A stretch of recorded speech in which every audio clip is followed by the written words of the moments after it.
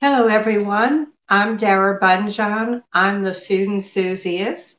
If this is your first time tuning into the food enthusiast on Jmore Living, I am a writer, food stylist, PR maven, and a frustrated baker. Today's guest is a Renaissance woman, and the list of her accomplishments is extremely long.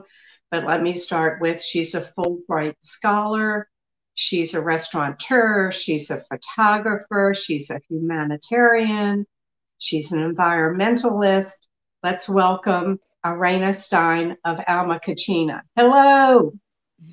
Hello. Hello, Dara. Thank you for having me. Well, it's a pleasure to have you here, and there's so much to talk about um, that I, I don't know where to start. So let's let's go with what's current. That you were a restaurateur, and your first restaurant was Cafe Azafran. Am I pronouncing it right? Azafran, where was that? Yes. So Cafe Azafran was at the Space Telescope Science Institute at Johns Hopkins University, and we started it in 2004 and we closed it uh, last February 2019. It was a long time, and it was a wonderful experience feeding these great astrophysicists, astronomers, astronauts, you name it, and the rest mm-hmm. of the community at Hopkins. It was a real privilege and pleasure. Well, you actually met your husband there too, didn't you? So yes. it benefited you in many ways. Um, Yes. And then you did another cafe at Johns Hopkins. What was that called? It was called Alchemia, which uh, you know it's basically uh, alchemy, um, but with the roots in Arabic language, because it was in the humanities building at Hopkins. It was located right in the middle of it, and um, it was a very multidisciplinary building. Uh, you know, with language, cinema, sociology, history, archaeology. And so it was the perfect name for a building that had all these people working in projects together, very multidisciplinary. But very early on, you were into sustainability mm-hmm. in the restaurant and making sure that there wasn't waste, that things that you worked towards your goal of as an environmentalist um, your degree your master's degree in cultural anthropology um, it's all wrapped up. You went to Stanford on the Fulbright scholarship. So Alchemia, and then you opened Alma Cocina in 2015 here in Baltimore to rave reviews. You brought up um, Chef Enrique um, from Caracas, which is your hometown, Venezuela, Venezuelan mm-hmm. cuisine. Um, just amazing. Uh, you were down in Canton can you tell people more about what the cuisine was about and, and Alma Cocina? Because it still exists, but you've moved recently. Mm-hmm. So, Alma Cocina Latina started um, actually um, as a project of a simple arepa bar. That was the original intent. Um, and we were we actually found this wonderful location through Bill Struever, who was the original order uh, owner of the can company. And right. um, so we started there and it was much bigger project than i thought uh, and so it was a very mystic way that i found enrique limardo who was a you know huge award you know chef uh, multiple award chef in venezuela who had traveled the world using ingredients from all over the world.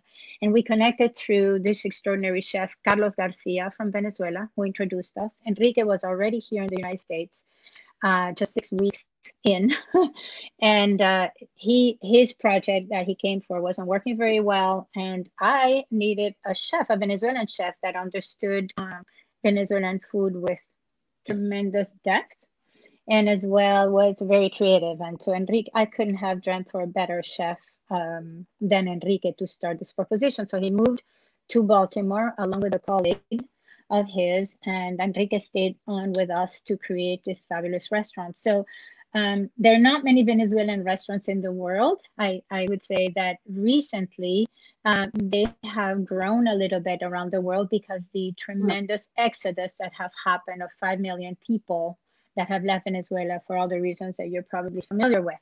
And so we got very fortunate to get a chef uh, from there because generally Venezuelans don't like to leave too much unless you know they go traveling or they have deep profession somewhere, deep roots somewhere else. But otherwise, they have a hard time leaving the country it's very family oriented and it's a beautiful country. But right now, it's a it's a place hard to live in. So that's how we started, and it's a very interesting culinary region in the world that has been uh, unfamiliar to a lot of people. So that was the idea to bring Alma here, have people explore those those roots of the Caribbean region of Venezuela. Well, I know Enrique, there's nothing I cannot begin to say how beautiful. Now the food was delicious, but the plates were breathtaking. Yeah. Um, if you could get the Washington Post, which gives four stars, gave you three and a half you know, and just amazing. And the picture that he um, posted was the ravioli, mm-hmm. um, but the Venezuelan ravioli stuff with. Um, uh, it's fish, basically. oops. Oh boy. Sorry. Okay, you are.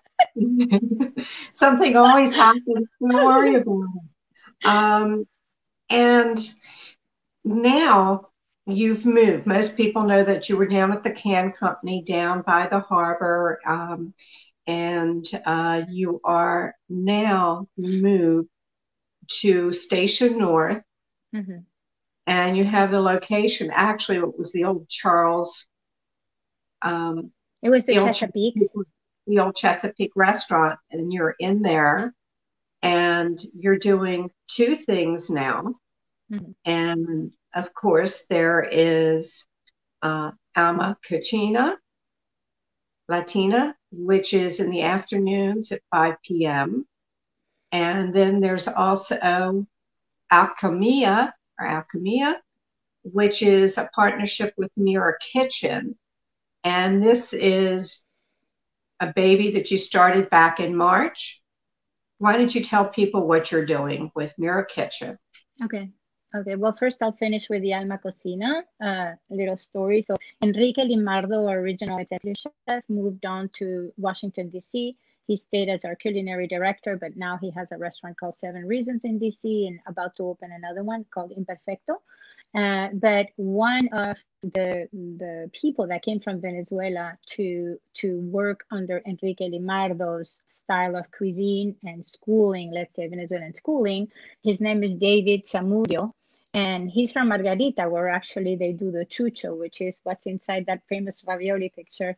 Uh, and he's a very talented young man, 27 years old, who who is taking on the lead as an executive chef of uh, of Alma right now, and also has been taking the responsibility as a as a chef for the Alkimiah initiative that we partner with uh, Mera Kitchen Collective.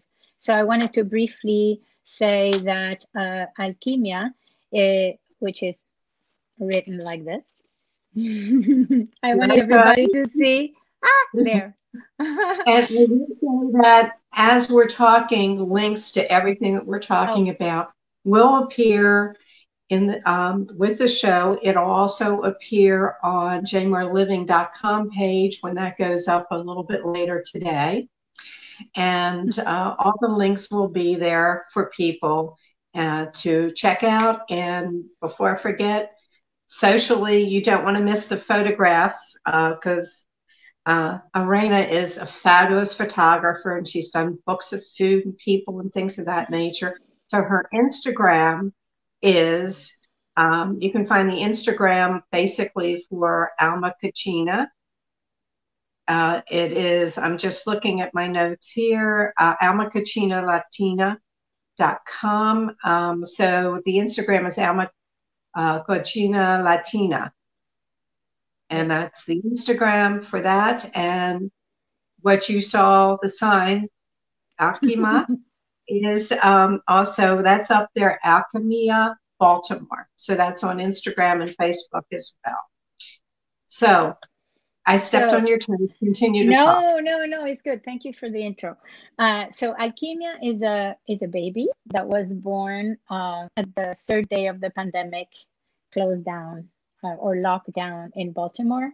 So it was a very quick birth, and uh, it was the product of a partnership marriage, solidarity, um, you know, co-decision with um, uh, the the team of Mera Kitchen Collective. Mera Kitchen Collective is a is a company that is also um, housed under the same roof as Alma and Alkimiah, mm-hmm. and we share the different hours at different times of the day.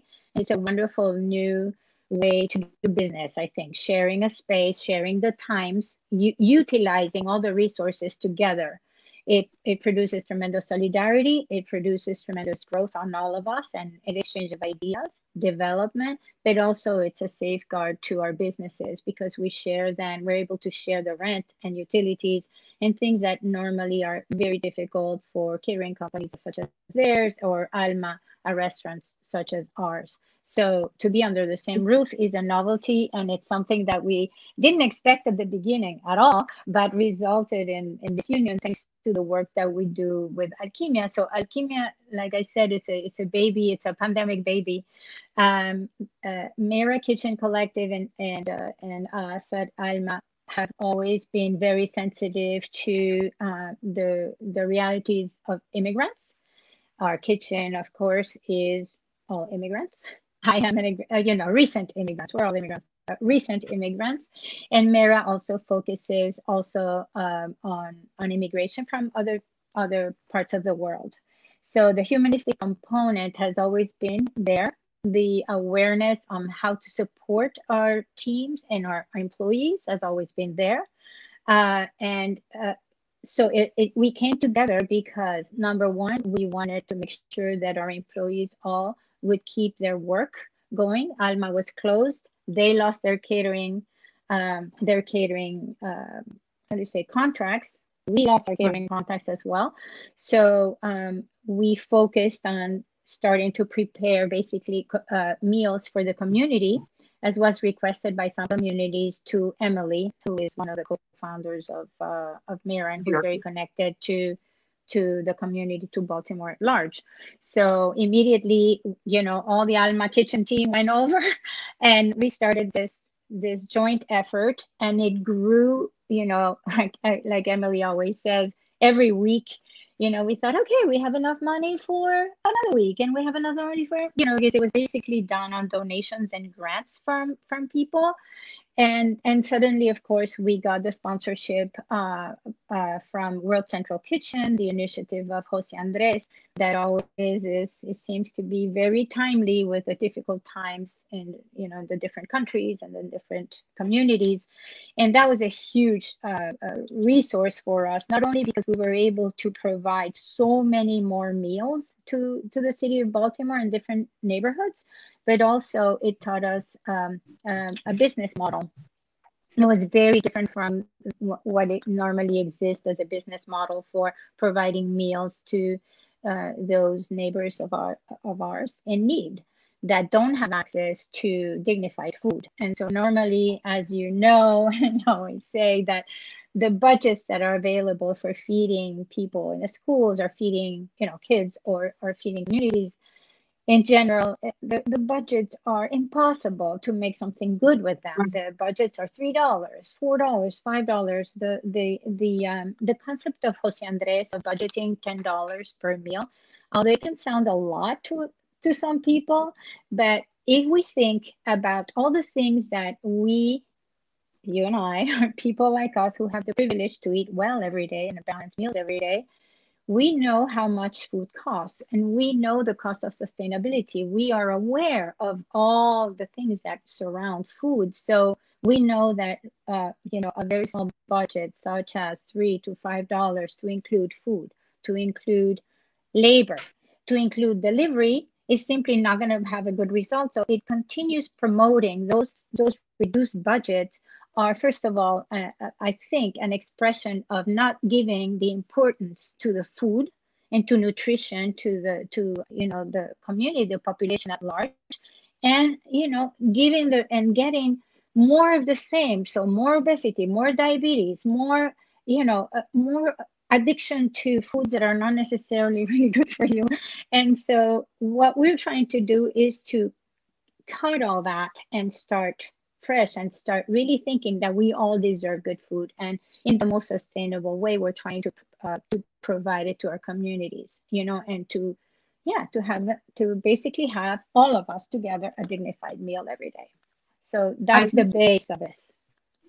I just um dole just did something. They did malnutrition labels that they put up on the shot tower. I don't know if you heard about that. No no. And another building and you know this was all about um, 88% of adults don't meet the daily fruit intake, but most alarming and what supports what you're doing that one in four Baltimore City residents are food insecure. Yeah. And the it'll come up on our links, but it's Mera Kitchen Collective. Donations are greatly accepted.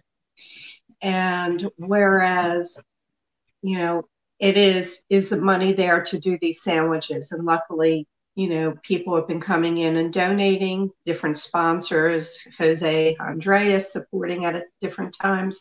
But the money is needed and uh, to get these meals out. And these are not just you know a piece of white bread. This is a healthy full course meal. Mm-hmm.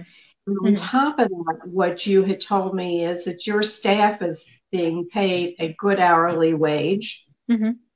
on top of this. So this is mm-hmm. working, keeping people secure in their jobs and mm-hmm. with some coverage, health coverage, which they normally wouldn't have.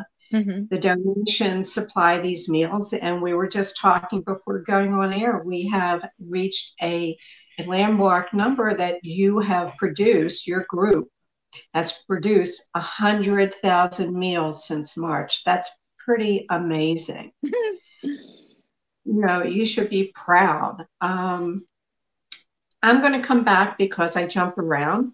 Irena, um, what are the typical foods coming out of Venezuela? We know that there are arepas, but what is what is the other standard cuisine or cuisine will we have should we be in Caracas, where you're from? Uh, it's a big question because it's all new. But uh, the arepa, let, us just say that the arepa is the symbol of our food it, because it's the daily bread. And like every culture, you know, every culture always is known by their bread, by their pocket. Their, every culture has something that they fill in with you know their spices and their proteins and their vegetables etc so ours is the arepa it happens to be gluten free it happens to be delicious and very neutral flavor. So you can put any kind of food in there or any kind of leftover, which is great. Mm-hmm. So the, the arepa is very important symbolically for us for that reason, but also because all this exodus that has occurred in the last 10 years for the drama that continues to happen in our country has taken people all over the world. And they've always taken their their this we say the arepa, so the, the flour that makes the arepa, uh, they've always taken it with them to all the communities uh, where they've landed in the world. And uh, nowadays, we have 3,500 arepa bars in the world which is an enormous amount considering the short term of this exodus, you know, that is 10 years. But besides the arepa, so the arepa is like this friendly daily thing that we all eat either breakfast, lunch, or dinner, or four in the morning after, you know, a day of drinking and dancing. This that's when a lot of people go to arepa bars.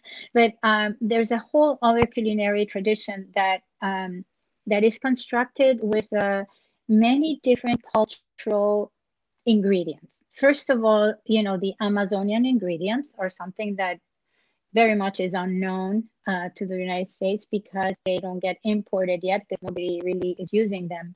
I import them in my suitcase. I won't tell you how, but they do arrive to Alma Cocina in all kinds of ways you know so that's one thing but we have different climates in the country. We have the mountain we have uh, the amazon we have the the ocean the caribbean ocean and we have the plains. And all of these different uh, climates or microclimates let's say which are all mm-hmm. tropical uh, they have their own specialty. So fish of course is a is a huge thing uh, in our country as well. Uh, fruit lots of different fruit. We are very known for cacao Uh, one of the finest cacaos in the world come from Venezuela, and all the chocolatier in the world generally, you know, utilize uh, cacao from Venezuela. Our coffee is very famous. Unfortunately, doesn't get exported for again the same reasons that we're talking about. So, what we try to do at Alma is to highlight those um, those known and classic ingredients that we use and uh, and when when i'm able to go now i haven't been able to go very much because there's no flight between our countries. There are no flights. But normally i've always been able to bring certain specialties here and add them to us. So that's one thing the the, the local the local ingredients. The other thing that composes our, our our menus generally is very interesting is that we were colonized by spaniards. And when the when the spaniards came the spaniards they came with tradition that already was mixed with the Moors, you know, the, the Arab world that came into Spain and brought in this whole sweet and savory uh, mix, you know, in their flavor. So they have a lot of dried fruit and they have nuts. And, and uh, so they combine sweet and savory. And that, I would say, is a very fundamental flavor combination in Venezuelan food. We always have a plantain somewhere, we always add a little sugar, we have raw sugar that that become little syrups that we add to spices and do things with it. So there's always this presence. So that's another element that's the Spanish and Moorish in impact, cultural impact to us. And they brought wheat also to Venezuela. We only had corn. They brought wheat, so we have some elements of wheat, some a lot of elements of uh, corn and yuca yuca is another big presence in our right. kitchen as well. Mm-hmm. So, and then the third thing, of course, is you know the slaves that were brought in that also are very much inhabitants of the villages are, are along the coast also brought in their own uh, culture and their own traditions and so we have a country that is based with local ingredients spanish moorish and black Venezuelans. so all mm-hmm. of this together uh, create these flavors that we are trying to present at Alma. Uh, so please, when you go to Alma, be adventurous and not just get the arepa, which is fantastic, but arepa is quite filling actually, but also experience the entrees and the other meals that we have because we want to show the uh, this incredibly rich combination of ingredients and flavors that Venezuela represents, especially with contemporary techniques that we're doing. So that you'll find all this in Alma. Okay. So there's a menu up, Alma Cocina, Latina.com. You can pick up, they're closed Monday, Sunday and Monday, is mm-hmm. it, or yes. just Sunday? Sunday and Monday. Sunday, Monday. But meals are available from 5 p.m. on for pickup and you can order online. It's very simple. And um, I got a little note from Eric Seely. He says, Best of luck, Miss Stein. My family enjoyed our last meal with you and hope to again. So, oh, thank you so much. Thank you. You know, I was there. I'm trying to think what was it we were doing the um, the beverage. There was a promotional thing for the beverage. Um, the, the two boys. The, the Papa um, Hemingway? No? Papa Hemingway. The rum? No. no, no, no, no. They're local and they're doing. Oh, uh, oh, Cane Collective. Cane Collective. Yeah, I believe so. Yes. So it was very nice there. Um, so this will pop up everybody. So you can go to the site almacocinalatina.com if you want to learn more about Alkimiah. That is alchemiabaltimore.com. They all have social media. Okay. Ah. I have a question for you, just a little bit different, and there might not be an answer for it. Cafe Azafran, Almacocina, Alchemia. Is there any reason why they all start with A? Uh, no. Well, the, the it started by the fact that I love the Arab word, the the Spanish words that start with A that come from Arab origins because they're so beautiful. They're so beautiful to hear. And so azafran came from asa afran, which means saffron. And right. Alma in this case was, uh, I mean, alchemia, again, it was this idea of alchemy, which I loved. Alchemia, it came from, again, the Moors coming into Spain. And Alma is simply because it's so and we've always wanted to, for me that was a, the original concept is that i wanted the spaces that we create for food. We wanted them to be uh, spaces where you feel at home away from home. So yes it's a restaurant but at the same time the idea is that you come in and enjoy yourself completely with music and lots of plants as you know like in a garden and then experience all these this food in a relaxed atmosphere although you know we have from menu that is comprised from street food all the way to the finest you know fine dining all of it together. So so we can Just all enjoy alma in every level no matter what the budget and and and we can coexist in the same and establish dialogues in the restaurant one day again after the pandemic.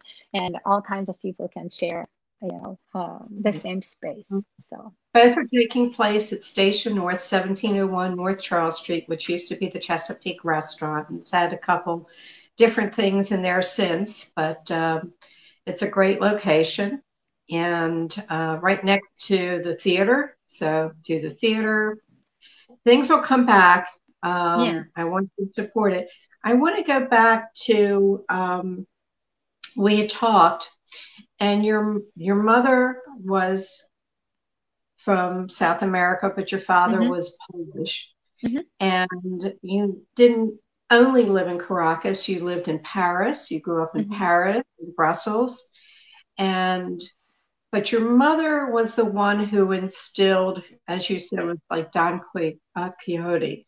You know, um, she really wanted you to keep alive that South American roots that you had and the food.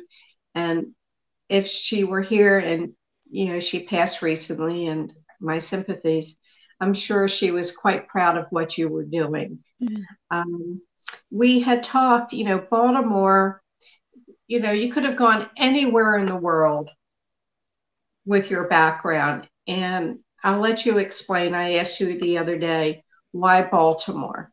why pick you know baltimore out of anywhere you could have been why baltimore so um, i was living in san francisco for 18 years after i graduated from stanford i, I stayed there and uh, stayed there for 18 years and i had you know uh, this career in in arts in the arts basically interior design and um, i was doing a lot of shows on the east coast uh, as well uh, all along the East Coast. So that already prompted my interest. Also, it was closer, you know, imagining flying from from here to Venezuela, which we did. We're very tight family, so we constantly went back and forth.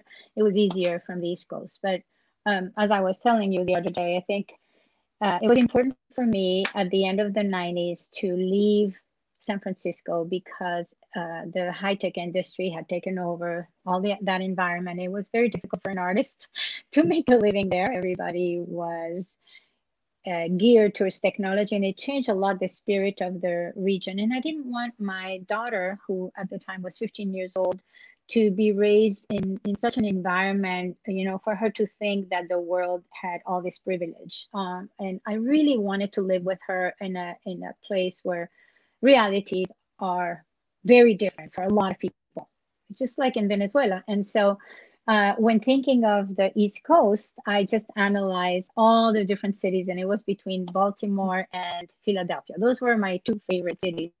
Philadelphia is a fabulous city. Baltimore had two things. It was Park School. My daughter went, you know, tremendous scholarship there. And that school, we're forever indebted to that school. It was really great. Um, and um, you know, I was able to buy a house here. That was not, not possible over there as well. And I thought also that I had never lived in a small town, a small city.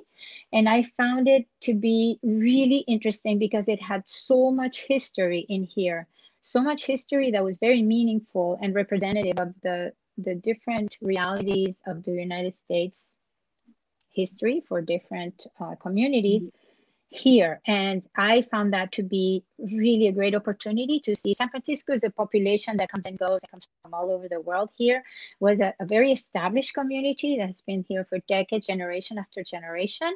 And um, I, I just was really taken by that and the beauty of the city. And I don't know, it was just a city that attracted me so much and that has been really lovely for for me and and all the people that I have met uh, at the course of all this time through Hopkins, through what we're doing right now. It's it's extraordinary good fortune to be connected like this in the city and the city that is trying so much to have this incredible turnaround of circumstances and in solidarity with everyone. And that's what motivates me the most to stay here and to have this commitment right now with Mera Kitchen Collective to do Alkimiah and to reach out to those communities much further than just feeding. We're talking about sustainability. We're talking about changing food policies. We're uh, or eh, or supporting them as food professionals. We're trying to work on nutrition. We're work, working directly through far- to with farms, and so all of those things need a lot more time. And I look forward to creating more of those contacts with with the vast community and relating them to Alkimiah because it's a, a very holistic approach and it involves so many people. And the idea is of solidarity you know to abolish this idea the food policy makers are over there and then the researchers are over there. And everybody is doing their own thing. But how this would be great as a center of dialogue and support and solidarity towards those communities that should no longer live under the you know the existing structural racism you know the divided lines in here. And we should all make an effort to abolish the food apartheid completely and really establish solidarity support and exchange of dialogue and all that. That's that's the goal. And that's what i well, love about baltimore. well aren't we lucky that you chose us over philadelphia? I love baltimore. We are. I love baltimore we're very lucky. And I think Baltimore is a good microcosm of what's going on yes. around the United States. And um, especially with your degree, if anything, 2020, you know, as a cultural anthropologist, you must have blown your mind. Um, I want to wrap up, and we can talk forever, but um, I want to wrap up. I have two questions that I ask you. and number one, number one, what was your culinary, what was the most culinary epic fail that you ever had? I knew you were going to ask that. so I could uh, go on the route. I mean, I, I, I remember two disaster, uh, disastrous things, but that's not the one that the ones that I wanted to talk about. One was that we had a new chef and uh, we did a catering job and the chicken wasn't fully cooked. And it was a catering for 200 people. And i in spanish they say please swallow me earth. I wanted to earth the earth to swallow me. And i didn't sleep for days and i couldn't eat for days because i'm such a freak about excellence that it was really hard for me. That was one. And then another one. What? I said that would be hard for i would i would be oh, dying. That was terrible. But but the other epic one, which was really funny, is that we we did a lot of catering at Hopkins with different professors in their houses, uh, you know, with their groups and their whatever staff and their guests. And uh, there was one instance where we had we had put together this catering for such a date, let's say February 13th, and. Right. Uh, and the whole time that date was there, it was given at the beginning of our conversations, but it was the wrong date. And the real date of the catering was February 12th. So here we are on February, you know, February uh, 12th. And thank goodness the day before we had uh, prepped everything to be cooked for this particular event. And the day of the event, which I wasn't aware of, we are, you know, we have prepped all morning, etc. And I'm going on to a party of, um, you know, some friends with food on my hands. And then the client calls me and I'm saying, oh, I'm checking to see what time I'm arriving tomorrow, etc. And they said, Irena, where are you? You normally are here always ahead of time, so ahead of time. So we're wondering where you are. And I'm going, uh, it's tomorrow on my calendar. And we have had, you know, 20 emails going back and forth, and the date was always there. And so there was this mishap. And so I thought, okay, what in the world am I going to do in the next three hours. Right. So a whole meal for 45 people in the next three hours. So I thought, oh my God, I'm going to call a restaurant in Baltimore that I would trust very much. And then I'll just order all the food from there and bring it. But let me ask the staff, you know, if we can pull it off and hopefully I'll find them. So here I am hanging up and I tell them, I'm sorry, we're just going to have to take this as a TV show. Uh, I told the client because I didn't know what else to say. It was so horrible. And I said, thank goodness they knew me, I knew them. So it was fun. Let's take this like like a TV show. So now we have this date mistaken. We've prepped the food. Let's see what I can do. Hang up and I call the chef who happened to take the phone, which was incredible. And so he picked up the phone. I tell him the, the story, and he says, "Well, okay, well, let me get going." And so he flies to Azafran, you know, to start cooking. But he needed an assistant to make this happen in no time. And I call um, one of the wonderful line cooks that we had, and she picks up the phone. She said, "I'm on my way." So while I'm setting up the whole thing at these people's home, they're preparing last minute all these things. And we're not serving so thank goodness you know this, the universe is always always you know uh, a lot of times on my side which is i really appreciate that rhythm of the universe is from my buddhist practice. But anyway the azafran wasn't far and my husband while i was setting this whole uh, thing they started in the kitchen with appetizers and he would bring the appetizers and pretend it was all happening there. But the client the the guest never found out that we were walking uh, working sorry from a remote kitchen. And all the steps of the way were so rhythmical and we fixed it at the end and the and the clients were their eyes were like this big. And so you know my heart i think I had aged 10 years at the time so from a failure and a, pot- a potential catastrophe we ended up you know something like a tv show last minute and so it was like again, like in Buddhism, you know, you turn uh, poison into medicine, you turn problems or obstacles into something great. This was the perfect instance to do that, and you know, so I wanted to I tell you. How do you say "oi" in Spanish? Huh? How do you? I was going to ask you when you said that when you started the story. How do you say "oi"? "Oi" in Spanish? Oh, you say "ay ay ay" or you know, "coño." It's a bad word, but we say a lot "coño." which is a bad word that my grandchildren know, but that's what we say. a, I love bad words. I'm sorry. So. Okay. Well, the last question and is what didn't I ask you that I should have? Um, I think that sign again. exactly. I think uh, you did mention Alkimiah, but I'll put it there again. Eh? there. Alkimiah. Right. Alkimiah. This is a beloved child of the pandemic, but this is the beloved uh, company, project, initiative, commitment, solidarity, all those fantastic words behind this. And that we want this to exist because all the residents of Baltimore and Baltimore County care for the citizens of Baltimore. If we as a small city are able to contribute to this um, initiative or commitment, the solidarity is not only um, the money that makes these meals go on and on and on, which is a long term commitment that we have no end to it. We just want to continue doing this. But also, once we understand and communicate what are the realities of the city and how altogether we can transform uh, the city into a way improved city in the things that we're lacking, lagging behind, I think it'll be fantastic, and that's what we're we're we're looking uh, forward to. So please support Alkimiah, and please support our restaurants, and please support Mera and us and our neighbors, Orto, and our other neighbors, and you know all the restaurants in Baltimore that are in bad need mm-hmm. of support. Support where you can. Um, and as I said earlier, the websites, the uh, links and information will show up on jmoreliving.com, and this video will be up as soon as we wrap it up. It will be up on JMore Living, and people share it.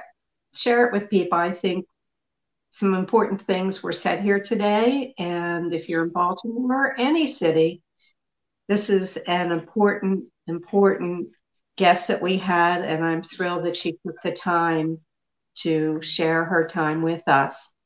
Um, so I want to thank you, Irena. We will meet again sometime somewhere. What did they say? What did Humphrey Bogart say to um, whatever. We'll see each other soon. And uh, I thank you once again. My best regards and huge success in everything that you do. Thank you for joining us. Thank you so much, Dara. Thank you. Thank you all for being here today with us. Bye. And I don't know. There you go. All right. So next week, our guest will be the woman who is considered to be the expert on Japanese food, like Julia Child was on French food, will be our guest, Hiroko Shimbo.